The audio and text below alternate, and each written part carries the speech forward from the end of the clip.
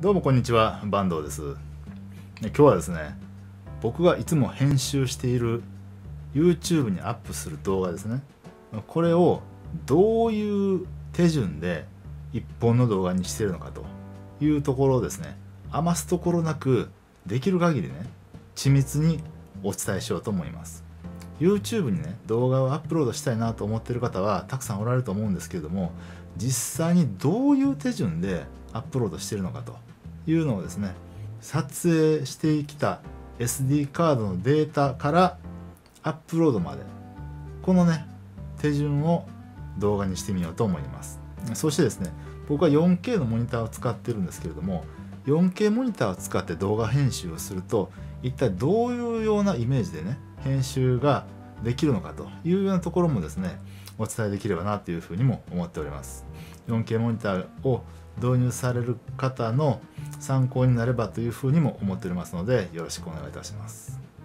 そうしましたらですね早速編集を始めていこうと思うんですけれどもさすがにですね SD カードのデータをですね入れるところまではちょっとやっております。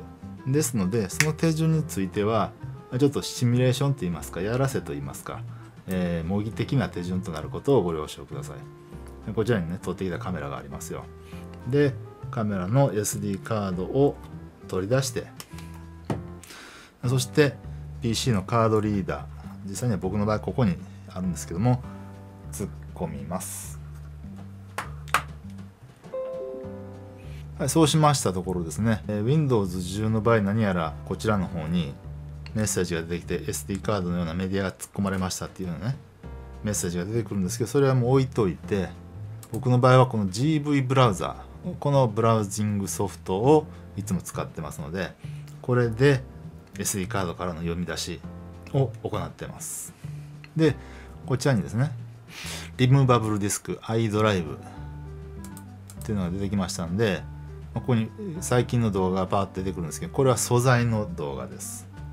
でこの登録済みってやつにこうチェックが入ってるんですけどもこれはですね今突っ込んで SD カードがすでにもう PC に読み込まれてるという状態でですねそこの手順はちょっとね逆戻りできないのでシミュレーションという形でねご容赦ください。実際にまだ SD カードから読み込まれていない段階ではこの登録済みのところにチェックが外れていましてでこの取り込みっていうところは白くなってます、まあ、とりあえずもう簡単ですよ。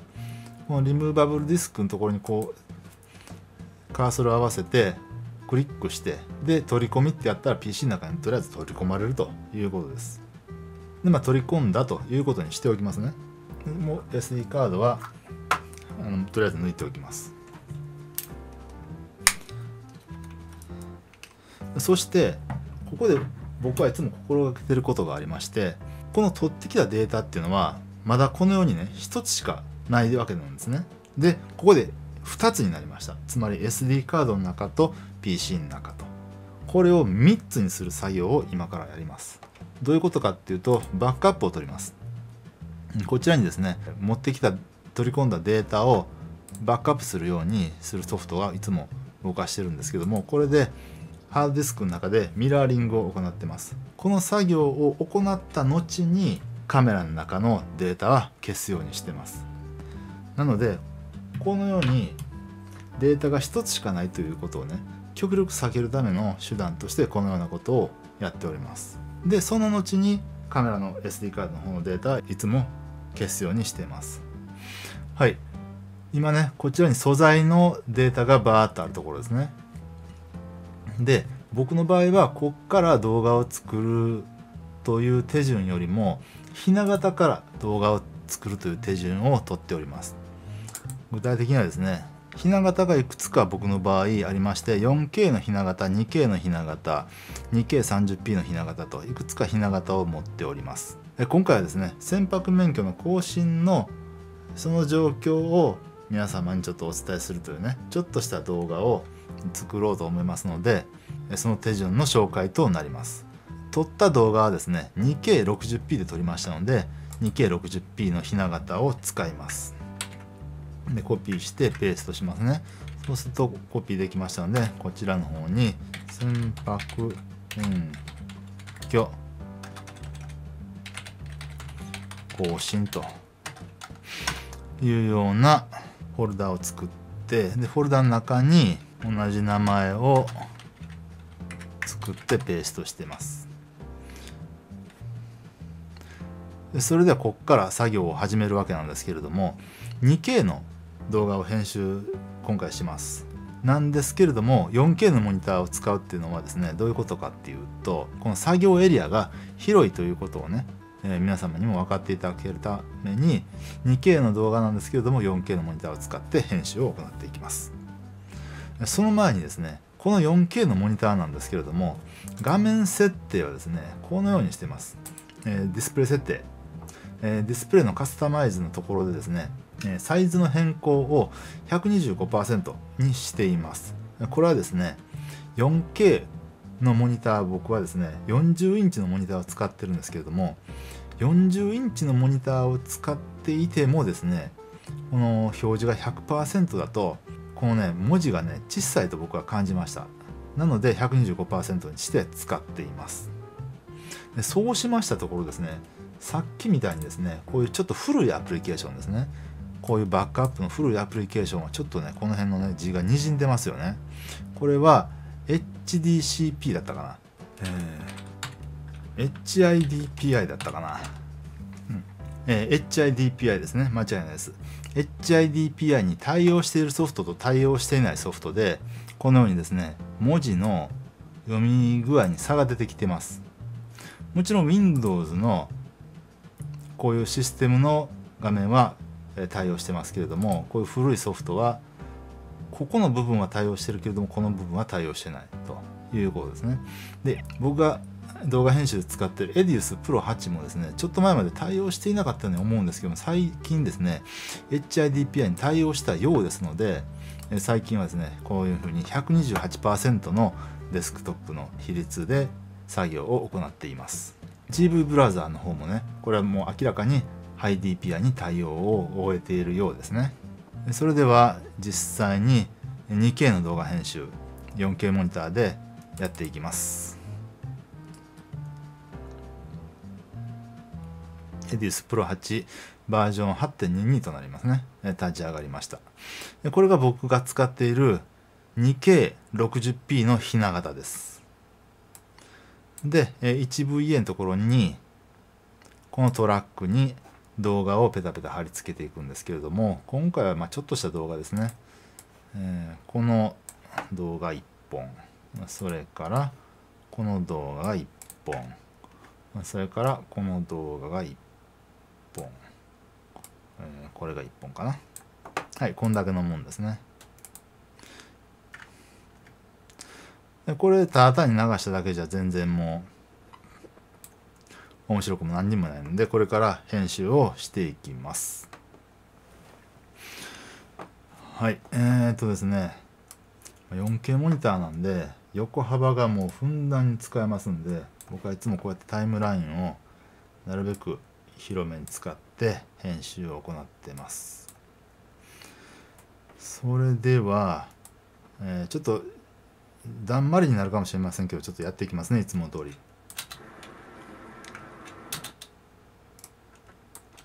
今日はですね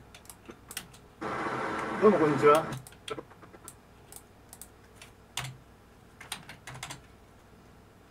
あそうそう。キーボードの動きも参考になろうかと思いますんでちょっとキーボードをねアップにしておきますね。それでやっていきます。どうもこんにちは。これは今フェードインをしているところですねどうもこんにちは。バンドです。今日はですね5年に1回やらなければいけないこと。船舶免許の更新にこちらのアリーナの方に来ております。場所はですね滋賀県大津市のヤママリーナ琵琶湖です。それでは行ってきます。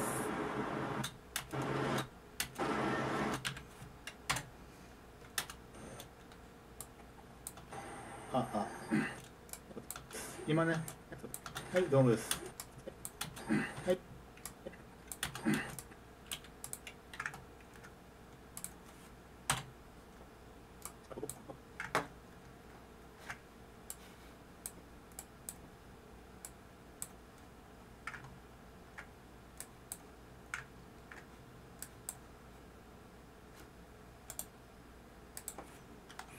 トラック増やしますね。ここでそうですね、え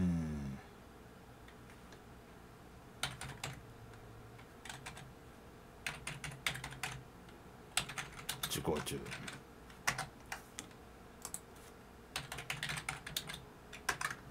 ロシアンと受講中。えー、真ん中にグリッドしたいのでいつもこうやって表示レイアウトバーでやって真ん中ズドンってやってますね。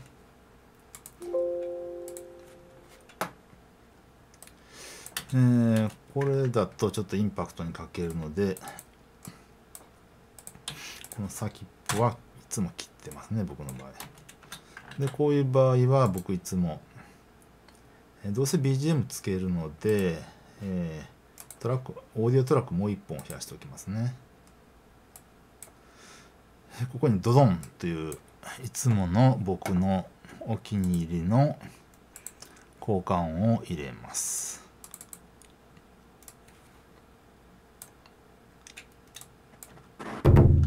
音がでかい、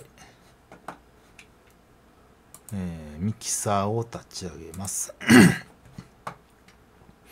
あれミキサーどこ行った？ミキサーがないぞ。オーディオミキサーどこ行った？サブ画面行っちゃったかな？あ、あったった。えー、こんなもんかな？はい。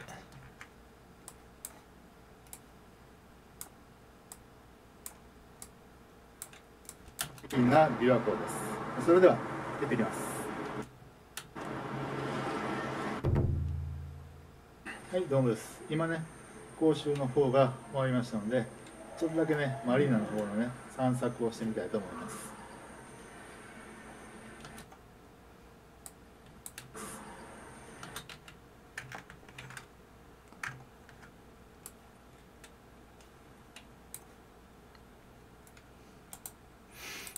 でビデオトラックもう1本増やします。なるほどね散策をしてみたいと思います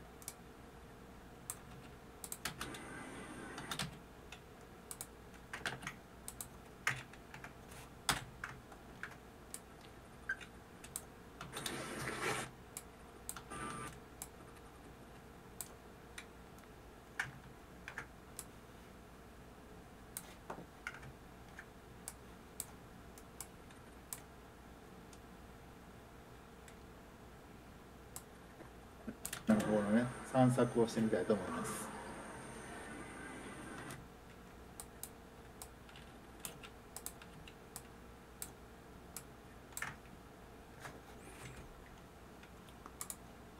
ここはディゾルブにしようかな。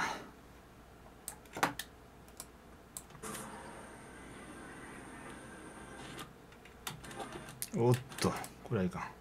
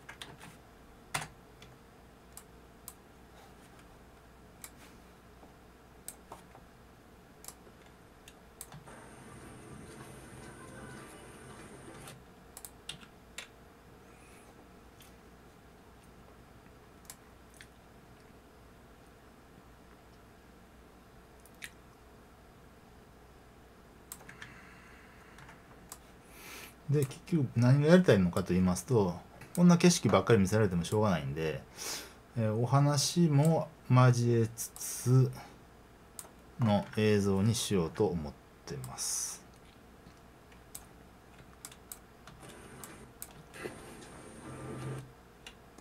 で僕の顔はもういいんでもうちょっと小さい感じですよね、えーレイアウターを起動して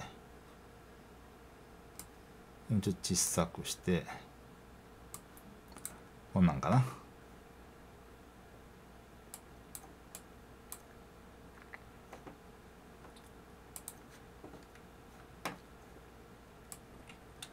ああ。あはいどうもです。今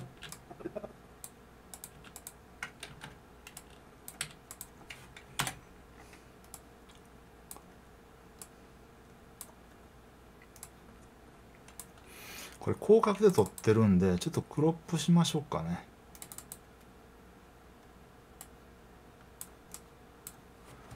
えー素材のクロップ。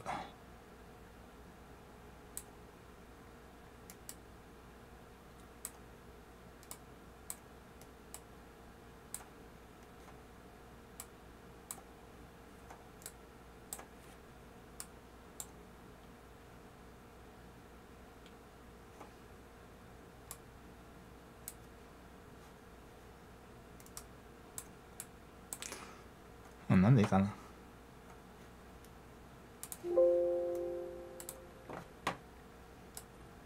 でフェードインしますね。まずはイメージのビデオ作ろうかな。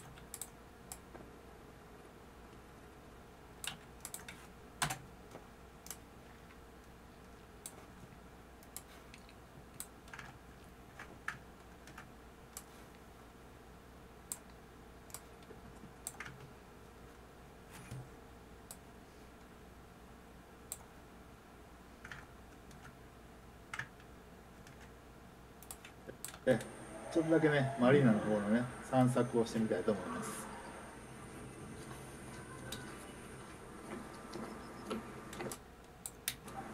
はいどうもです。今ね。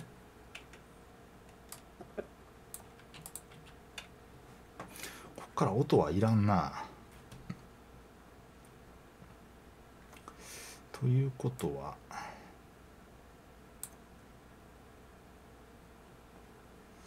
もう一本。動画トラックを作ろうか。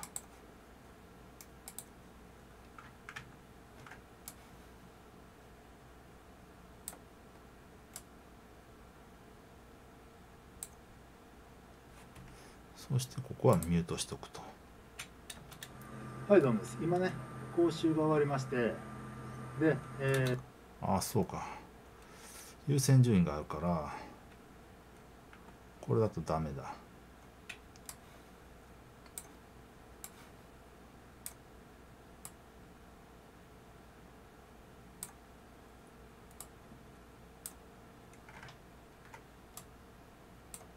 こうしないとダメですね。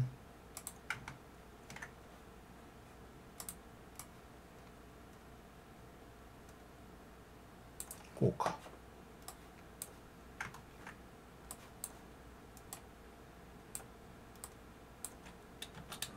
はいどうもです。今ね講習が終わりましてで、えーマリーナの中をねちょっと散策しているところなんですけども今日の講習ではですね一つね大きなね気がつきがですね一つね大きなね気がつきえ気づきがあります。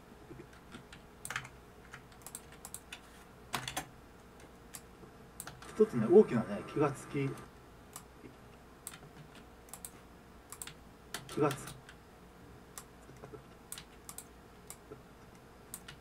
え気づきがあります、え気づきがありました。どういうことかって言いますと僕の視力に関して結構ねこれはね危なかったなっていうところです。え船舶免許2級なんですけれどもためにはですね合格するためにはですね2年ほど前の法改正で視力が両眼ともに両眼とも両眼とも両眼と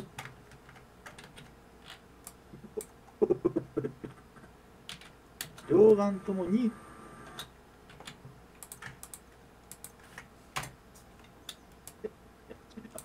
両眼とも0ないとダメだ。よ0.6以上ないとダメだよというふうな規定がなされてたらしいんですけどもこれが2年前の規制緩和でですね片方0.5以上もしくもしくは片方片方片方のどちらかが0.5以下であっても片方の目がが視野角100角150度以上であれば問題ない、えー合格であるというふうなね法改正がなされたらしいです。で僕の場合なんですけども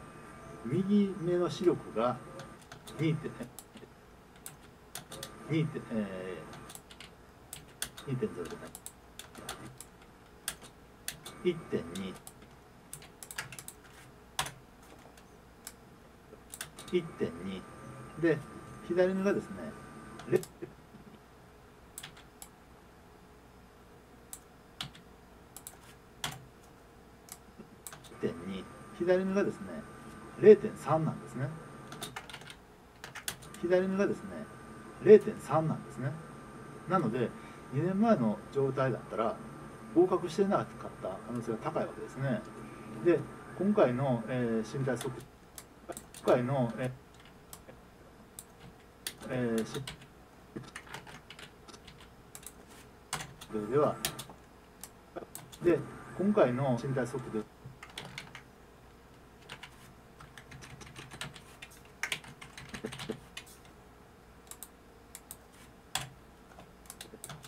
回の身体測定では合格と。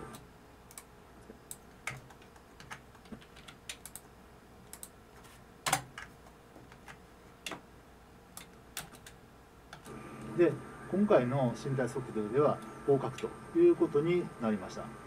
なんですけれどもやっぱりねこれはねいくら規制緩和がなされたとはいえですねちょっとメガネのね使用をね検討するかもしくは、え、レーシックの手術を、えー、僕一度受けてるんですけども手術を、え。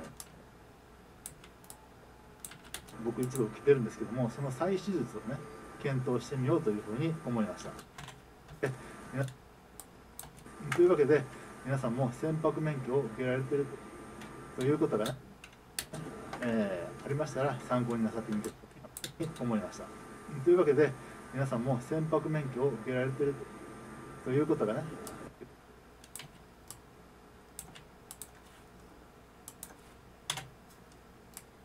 を受けられているということがね、えー、ありましたら参考になさってみてください。でこの辺りの法制度は結構流動的みたいなんで、えー、ずっとずっとこの状態であるとは限りませんのでその都度法律を調べていただいてですね視力にはですね十分に注意してで船舶に乗ってで乗っていただく必要があるんではないかというふうに思いました。何しろね命がかかってますので水と上の上の運転というのは。それでは今日はこの辺で。バイバイ。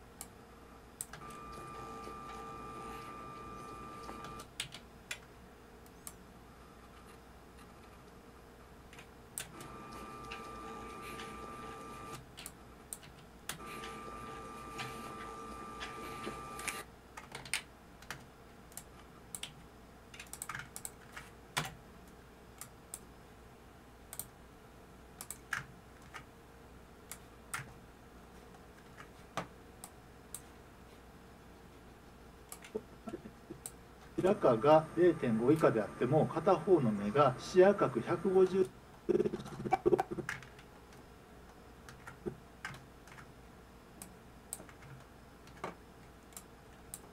視野角100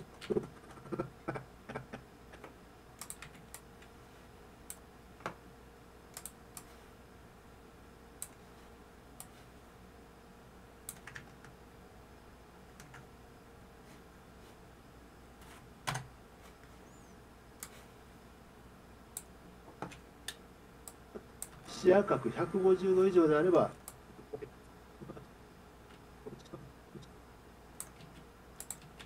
1.2で左目がですね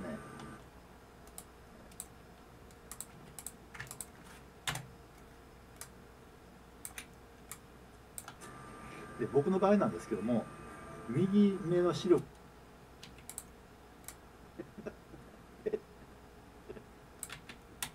2年前の状態だ。ということになりました。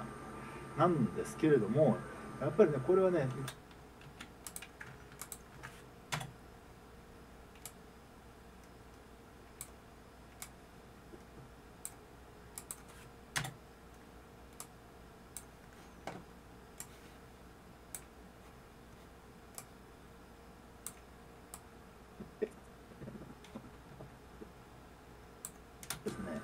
0.3なんですねなので2年前の状態だったら合格してなかった可能性が高いわけですね。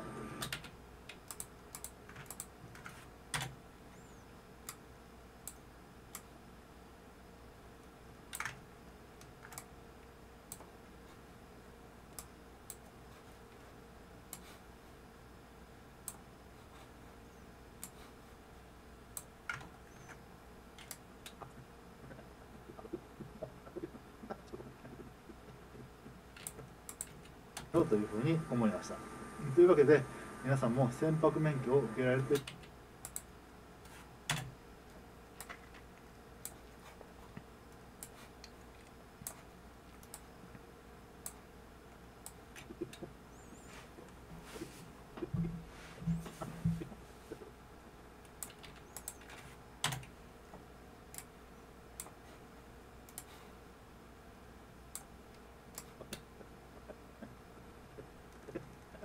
高いわけですね。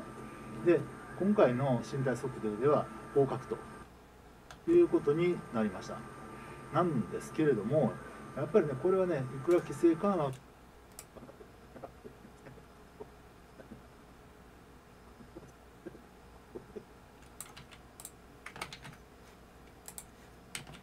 みたいなんでずっとこの状態であるとは限りませんのでその都度法律を調べていただ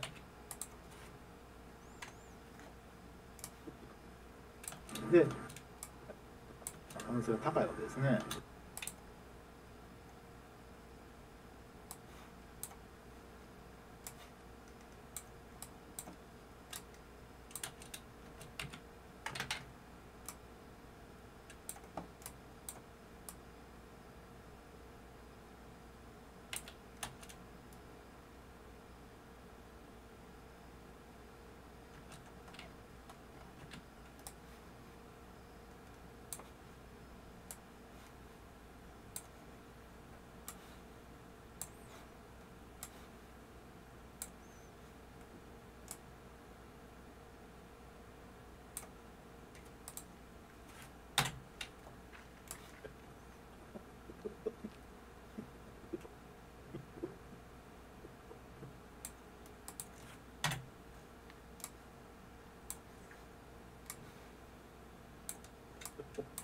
合格ということになりました。なんですけれども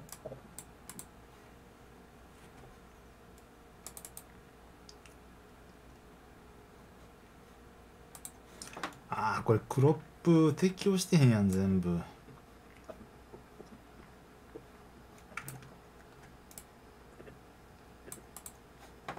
あれ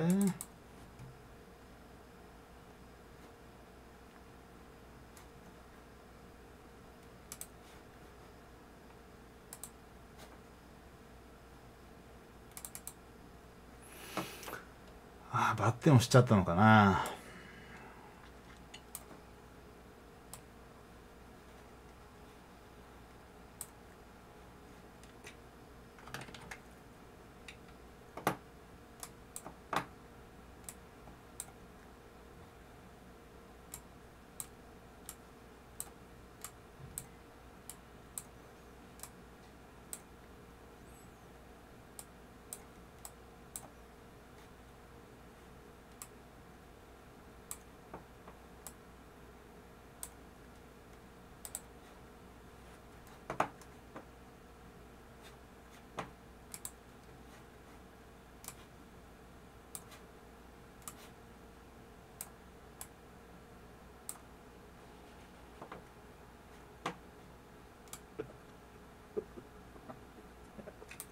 なんですけれどもやっぱりねこれはねいくら規制緩和がね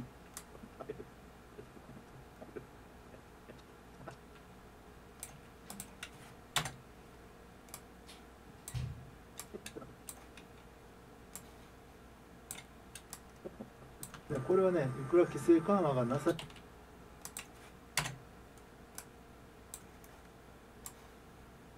されたとはいえですねちょっとメガネのね使用をね検討するかもしくは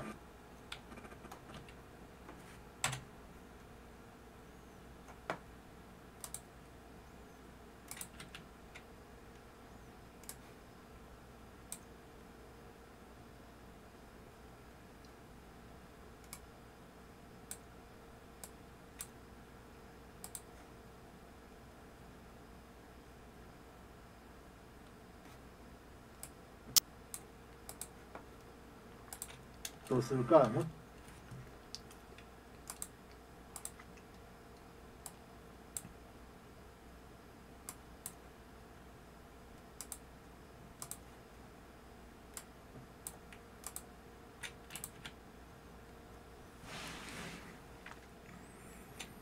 そうするかもし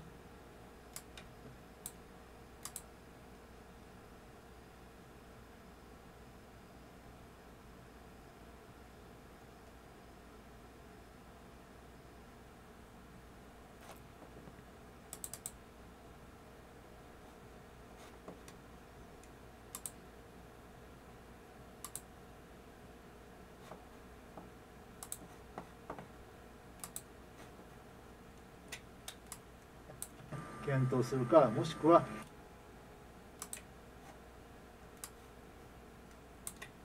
えーレーシックの手術を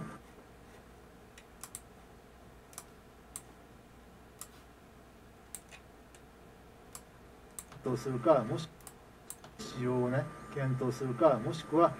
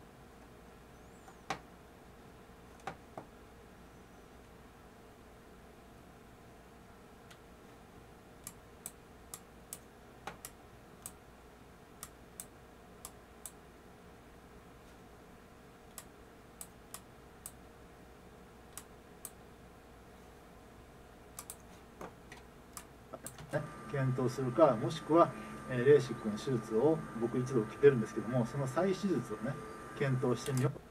をね検討するかもしくは、えレーシックの手術を僕一度受けてるんですけどもその再手術をね検討してみようというふうに思いました。というわけで皆さんも船舶免許を受けられているということがねありましたら参考になさってみてください。でこの辺りの法制度は結構流動的みたいなんでずっとこの状態であるとは限りませんのでその都度法律を調べていただいて。年前の規制緩和でですね片方0.5以上もしくは片方のどちらかが0.5以下であっても片方の目が視野角150度以上であれば問題ない、えー合格であるというふうなね法改正がなされたらしいです。で僕の場合なんですけども右目の視力が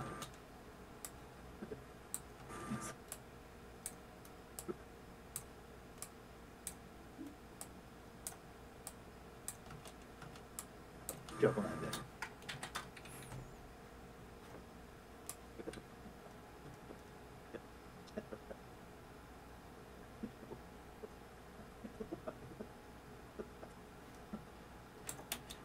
はい、どうもです。今ね、講習。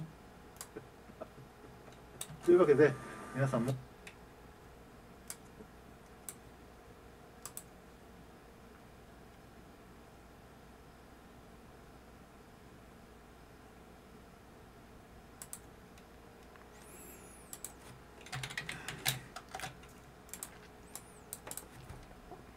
はい大体できてきましたね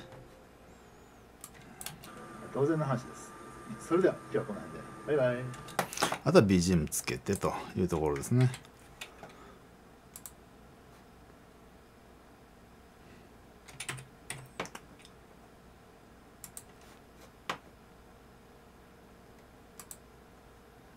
そうですね。どんな BGM にしましょうかね。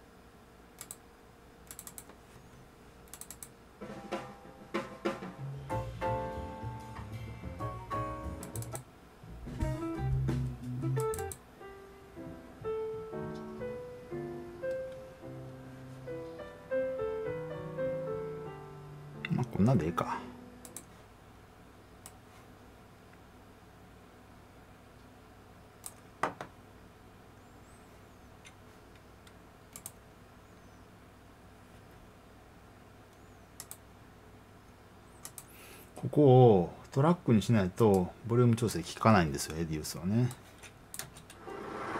どうもこんにちはバンドです。今日はですね5年に1回やらなければいけないこと。船舶免許の更新にこちらの IA に来ております。どうもこんにちはバンドです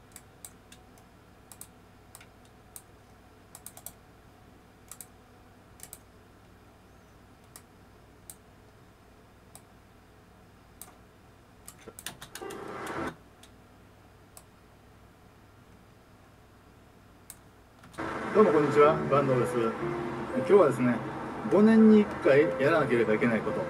船舶免許の更新にこちらのアイレーダの方に来ております。場所はですね滋賀県大津市のヤマハマリーナ琵琶湖です。それでは行ってきます。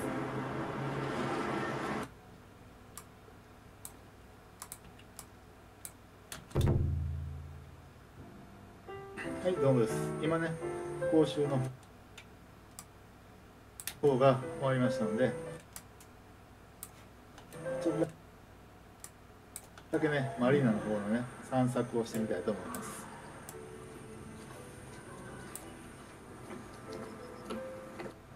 はいどうもです。今ね講習が終わりまして。でえ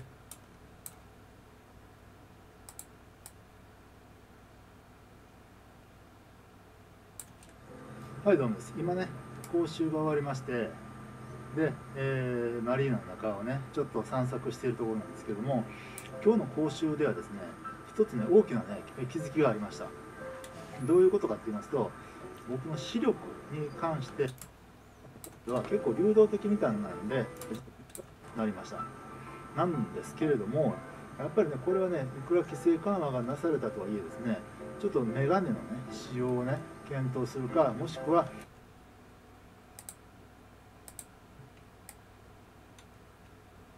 えレーシックの手術を僕一度受けてるんですけどもその再手術をね検討してみようというふうに思いました。というわけで皆さんも船舶免許を受けられてるということがねありましたら参考になさってみてください。でこの辺りの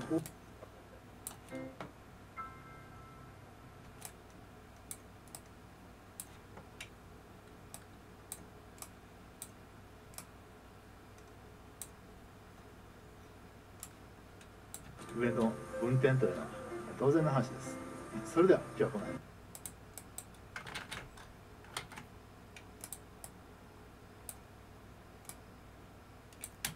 バイバイ。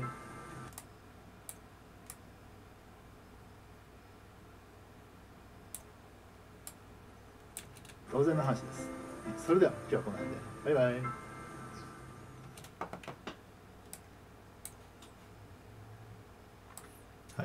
はい、ちょうどねここでブレイクがありましたんで音楽のあ後帳尻をね合わせることができました。はいどうもです。今ね講習の方が終わりましたのでちょっとですけどもやっぱりねこれはねいくらうんこんなとこやな。あとはタイトルを考えましょう。タイトル。船舶免許ので気づいたこと。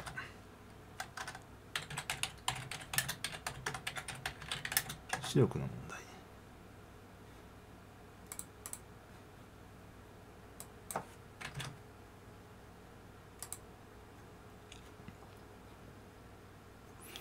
こんなとこでいいかな。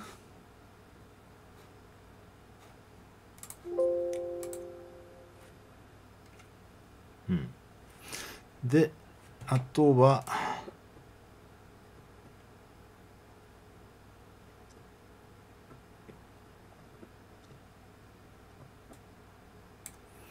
まあこんなところでもうちょっと回しな顔してるよなって感じやな。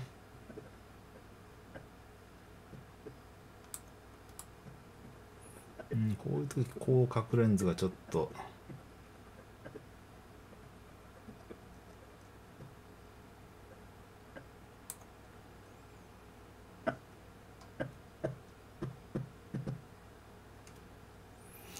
なんでいいかな手がちっちゃく見えるななんかこれ。おかしいよな。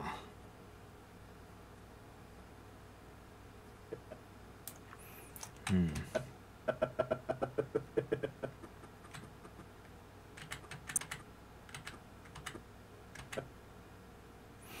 なんでか。これもなんか手が変に見えるよな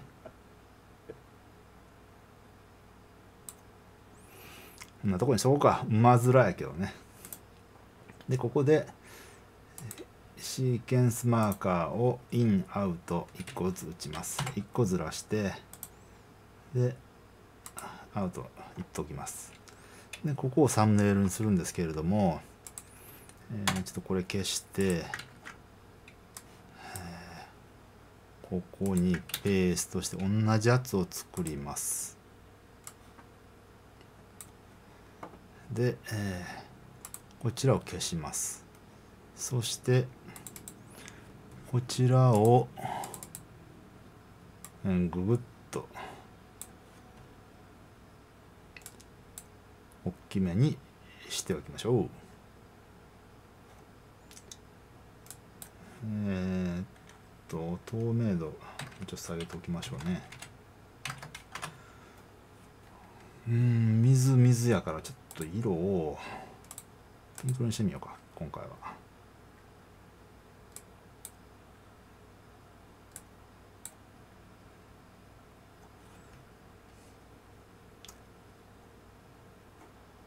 で、えーここはですねポイントです。自動で名前を付け保存ってやらないと上書きされちゃいます。コピー元が。よしこれでえサムネイルの書き出しをやります。エクスポートのファイル出力の静止画の出力のああそうかえっと文字列を持ってきとかなあかんこの文字列コピペででなんかテキストファイル開いてこうやってこうやってこうやってこうやってこうやってでえー、っとちょっとこれ閉じてでもう一回。ファイルのエクスポートのファイル出力の静止画の、え出力のファイル名をここでペーストしてインアウト連番を保存。これ1フレームだけ保存します。はい。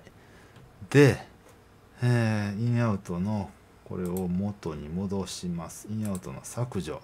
そしてサムネイル用の文字を消して普通のやつをつけてで出来上がりかな。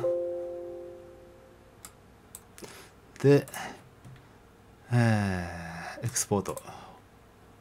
動画のエクスポートもします。ファイル出力の H264 すら AVC 出力でで、えー気がついたことの問題。50Mbps 保存とやります。できました。